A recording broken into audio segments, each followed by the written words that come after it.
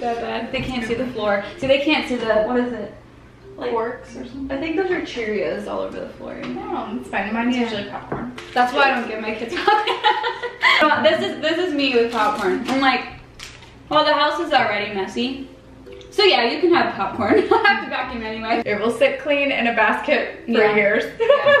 or until use will it digging through it, and then Yeah. you're like, then you come to the point where you're like, do I rewash it? Yeah, or like, why do I even have dressers? This is gonna stay here in these baskets.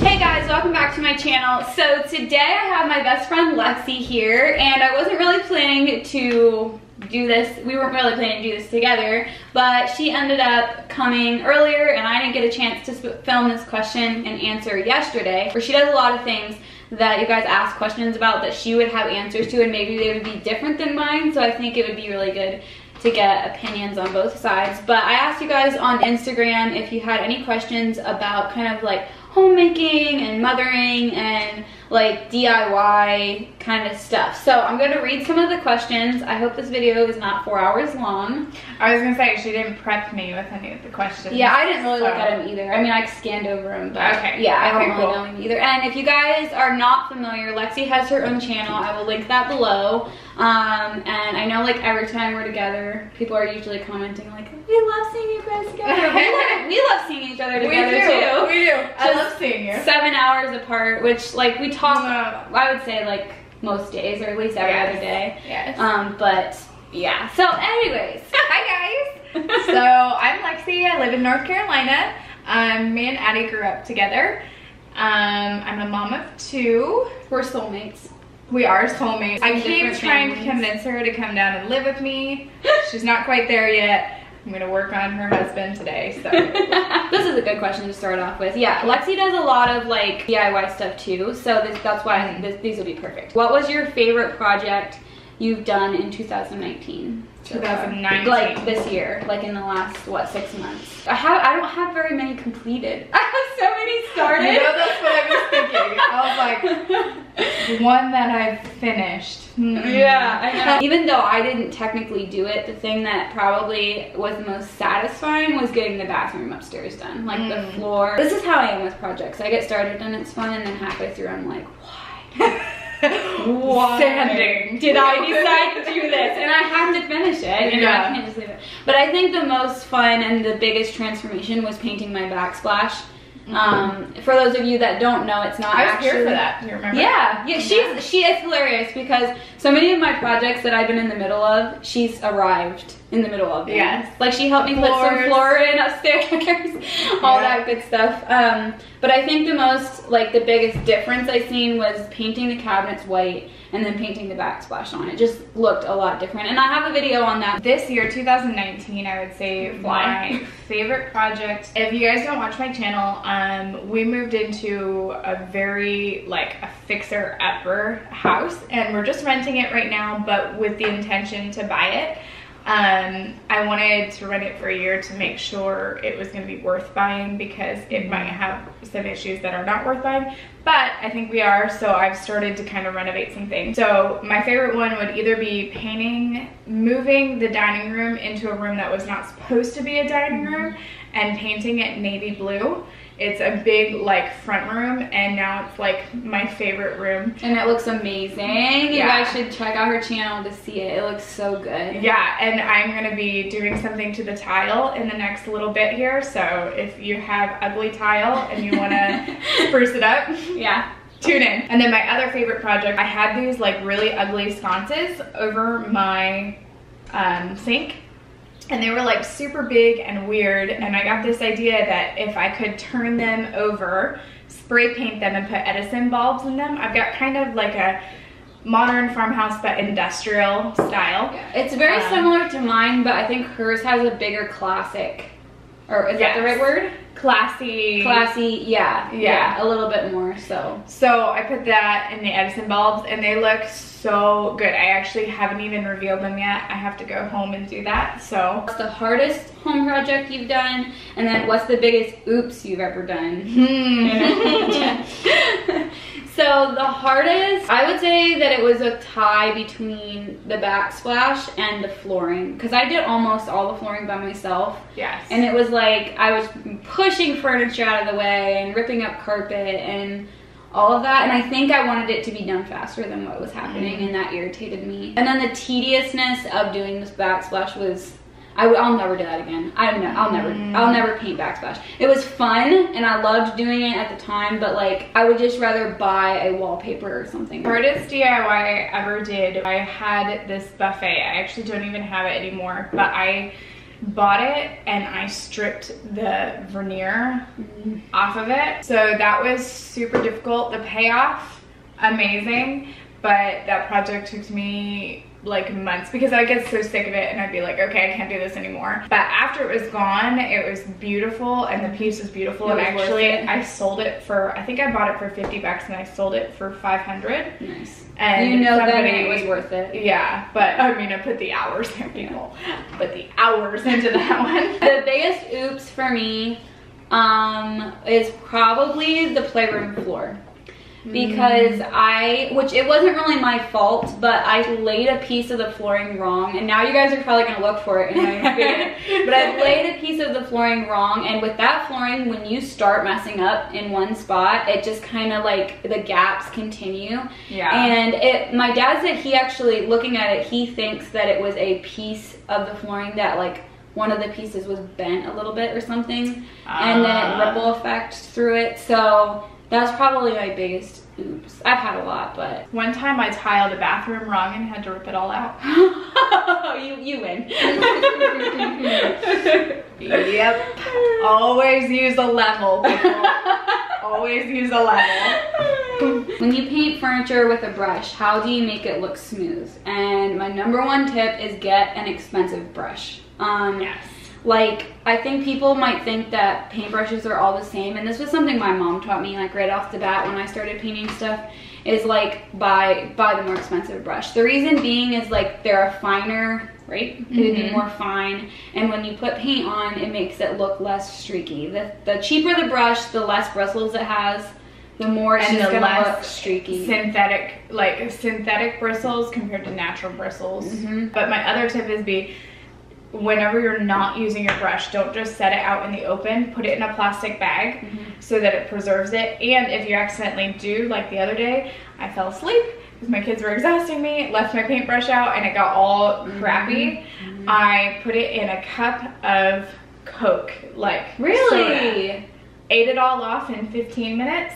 I brushed it off with an old toothbrush, and then it's like brand new again. It works really good. I'll have to try that. That's a really good tip. What takes a room from okay to finished? What touches make the sty- mm. the most stylish impact?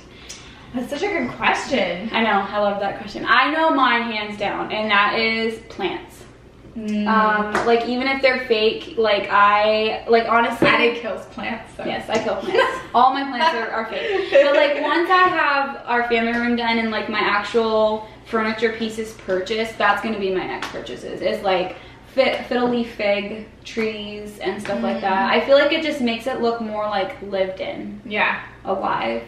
That's a good answer. Mine's actually different. Mine is for me, I I can see a decor vision of things and do all this stuff, but until I put family pictures on the wall, I don't feel like my house is finished. That's a good one. Yeah, so like I just put pictures. Um, actually, I just put the frames, um, but I have to get pictures for my family dining room. And after that's done, uh, there's a few other things I want to do to it, but that would feel finished Yeah. to me, like lived in and a space that I really am not agitated at. Mhm. if that makes sense. hmm Yeah, it makes it feel homey. Favorite brands of paint and primer to use for walls and trim.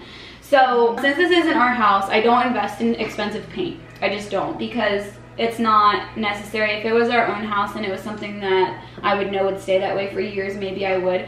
But I do invest, I mean, I always think it's a good idea to have a good primer because I feel like then you can kind of get away with using cheaper paint if you have a really good primer. Right. So my go-to is Kilz all the way. I love Kilz primer. Okay. It's thick. It covers stains. Um, it's very bonding. So that is my simple answer. And then paint, I just buy the cheapest stuff Walmart has, and funny. and that's it. So I'd love to hear from you because I know you've worked with a little bit more like brand Yes. or paint. So this house too is very different. I'm painting it right now thinking that we're gonna stay there a long time. So it's a very different mindset. Mhm. There is my absolute favorite. Now, but for different situations. Like my dining room that I do love so much, I used a semi-gloss Behr Marquee. That's like their expensive and one. that's something I will add. I I always use semi-gloss. Always. To So- wash it off, it's almost impossible. Yeah, so the, the house was painted with a flat paint. It was bought as a house to be a renter's house. I don't know why anybody in their right mind paints stuff with flat paint on the walls if they have kids because it smudges and like you can see you Yeah. can see handprints, all kinds of stuff on the walls. Even if you don't have kids, there's no way to clean it. And if you try to clean it, it only makes it worse. It like looks it, so crazy. Yeah, yeah. So um, I usually do a semi-gloss. Now this is what I was gonna comment. My dining room is beadboard. beadboard. It's Mhm. beadboard, and it's too shiny with the Oh, semi-gloss. okay. So I would have, in retrospect, I'm not gonna redo it again now because I'll probably end up tearing that out and Mhm. drywalling it. Mhm. But I would have used less gloss on a beadboard. It depends on what you're painting. So Zinsser Mhm. 123 is my favorite primer. And do you I get it at do- Home Depot? I do. Okay. Um, I use an app actually that I get cash back at Home Depot, Okay. and so I get it there. This one's a funny question. So how do you and your husband divide up chores, domestic duties? Is it 50-50? 50-50, what's that? Oh my gosh. No, I think I think that is also a personal preference because I appreciate his help, but I also was brought up that like you take care of the home as a wife. And I know that's not everybody's cup of tea, and if that's not your scenario, that's perfectly fine. But like, I just kind of take. Is it is it wrong to say I take pride in taking care of my own home? No, I do too. And here's the thing. My husband is amazing. Actually, he has my kids right now at home. Um, if you don't watch my channel, my mom has cancer. That's why I'm up here visiting. And so he kept my kids at home. And he is doing an amazing job of keeping it, but he knows that he will never clean it like I clean it. And um, and he's okay with it because like there's Levi's clean and he's amazing at it and I'm so proud of him and thankful when he does it. But then there's the way I clean it. Yeah. And I just prefer the way I clean it. Yeah. So I prefer Levi to actually um, do what I have if I ever have a list for him. Mhm. Um, but there's certain things that he does, like he always takes out the trash. Mhm. I'll do it, but like when we first married, I was like, hey, this is just one thing I forget to do. It gets full, then it gets heavy and Mhm. stinky. Like if you could just make this your one thing, Right. that's awesome. Yeah. And then other than that, I pretty much. I think that's that's actually a really good point. Um, before I go into like how our scenario is, I think that having like communication about it instead of assuming like, oh, he should be doing this or he should be doing and that. frustrated. Yeah, like coming to your agreements on what you do is really, really important. But um, so Corey is a clean freak, a Mhm. major clean freak. Um, like through my pregnancies, I get really sick when I get pregnant. My whole first trimester, I get sick, and he would literally clean the house all the time. He did it like honestly, especially my first two pregnancies. He did the dishes like every day, and Aw, like awesome. he doesn't fold laundry, but he'll put it through that kind of thing, and cleans and sweeps and whatever. So he is very much like that. Now I feel like we've kind of had the conversations of like, this is what I do and this is what you do, and he takes care of the outside. He mows. Like I've never mowed the yard since we've been married. Um, but like there's a lot of times if he's home with the kids, I'll come home and like the dishes are at least in a neat pile and things are picked up off the floor, that kind of stuff. So Yeah. um, yeah, I think like yeah. I think in my mind it's 50-50 to some degree. Yeah, You know, I'm and not I complaining about anything. No, I was gonna say my when I was first married, I had such unrealistic expectations, and that only led to frustration.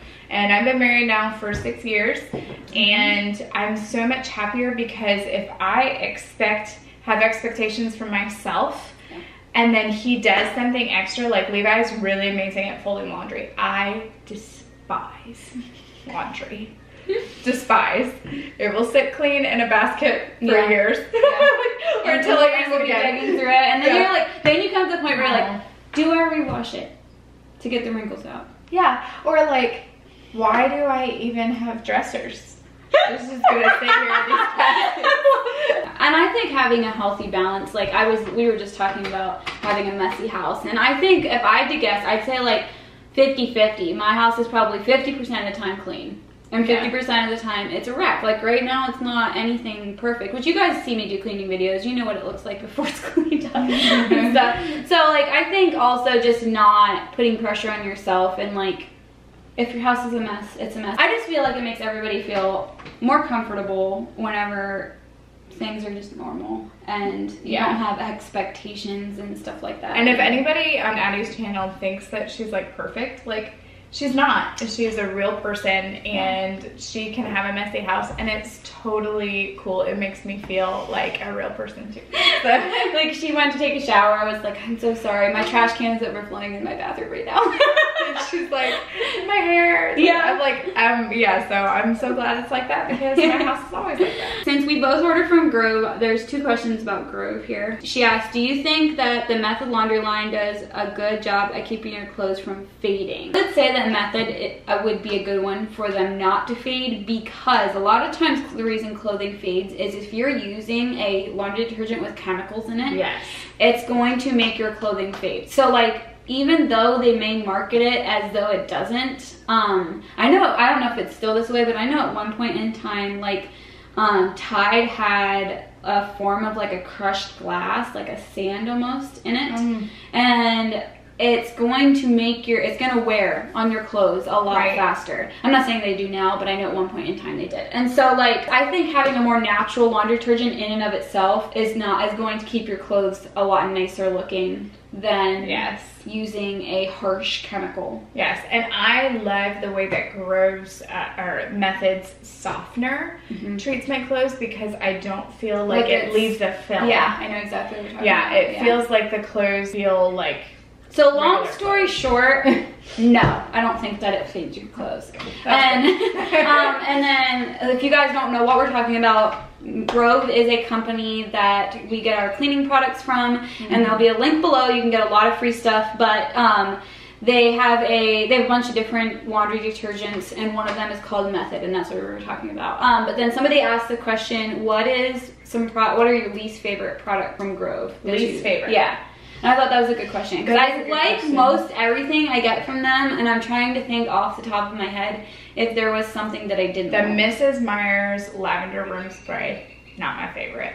It, like, did it give you a headache or something? Yeah, it's Okay. too strong for me. Okay. And it's you know some people say you know when you come in you smell that like chemical too strong. This is the opposite. It's like a it's like- like, a hippie room. Yeah, too floral. Like it's too much when I'm in there. But I think that's the only thing that I've ever been like. I'm "Oh, don't really seriously like trying to think. Mrs. Meyer's has a um, baking soda paste and a vinegar like gel, and I just feel like I don't I don't know if both of them, but particularly the baking soda one leaves a film, and you have to scrub it off, Mm. like off of your shower or whatever. I remember when So- you used to use that. Yeah, so Yeah. I don't think I think that would be, but honest to goodness, like I'm not lying. I love their and everything I've ever gotten from them. I do. I've really Like liked. and the Grove themselves brand. Yes. I really like Yeah. their stuff. It's really quality. I use a lot of their like I use their dish soap. I use a lot of their stuff. So this question was not written down, but one of um, my lovely subscribers, she's from Australia, she sent me a message and she asked me like if I grew up doing projects around the house or like how I got into doing what I did. And yes, my dad has been a contractor since I was born, and so like even the guys in the uh, hardware shops and stuff like they know who I am like in the area and stuff like that. So I didn't just pick up a tool one day and like was like oh this is how I can do this. Um I was taught like pretty much everything that I can that I do or else I call my dad and I'm like how do I do this? What's the best way to do this? So that's where it came from my bug of doing my own projects and, and I am kind of the type of person I'm like oh well if I mess it up it's not the end of the world. Yeah. We moved from New York early in our marriage to Michigan. Um, and one of my best friends passed away. and I really struggled with depression. And at the same time, my husband uh, got a job that took him away from four in the morning to eight at night. And I was all alone and I didn't have a car mm-hmm. or anything. And to cope with my depression, because uh, I didn't know anybody, I wasn't visited by anybody, like hardly ever. I was all alone for many, many hours. I would watch HGTV. I would go on the weekends, go to old thrift stores or antique mm-hmm. shops, buy the most beat up old things and redo them in my house. Because it doesn't, like, to do those kinds of projects, it does not take a lot of money. No. Like, you could no. do it and make something look really cool for a very little amount of money. And that in that, I learned to not only appreciate old things and how well they're built, mm-hmm. but I also learned many, many techniques through trial and error, mm-hmm. through throwing stuff away, through yeah. getting contact high of because of spray painting in my tiny little apartment with no ventilation. Um, yeah. yeah. But that is how, and it really like DIY saved my life at that mm-hmm. time and taught me many valuable things and just took me through a really hard time in my life. Yeah, I agree with that. I like I think it's a really therapeutic. That's yes. probably the right word. It's really therapeutic to do things like that and it's not as hard as you think it's going to be and you don't have to grow up with a dad that's a contractor to do things like that and I think a lot of people it's just something they don't even think about that they yeah. could do. And it's something like you can redo something and sell it. Like when I sold that um, huge buffet that mm -hmm. I mm-hmm. said for like 500 bucks, that person was so happy that it was only $500. Anyways, so that this video is not like forever, forever. and a day, I'm gonna wrap it up and I don't know if we'll film anything else while she's here, but I'm sure you'll see Lexi again Probably. soon because I know they're coming back in a couple weeks. Yeah. Um, anyways, but thanks a lot for watching you guys and comment, leave lots of comments below. I'm sure you guys will have a lot of stuff to say about stuff we've talked about. If you're new to my channel, don't forget to hit the subscribe button. Go subscribe to Lexi's channel and I'll see you in tomorrow's video. Bye.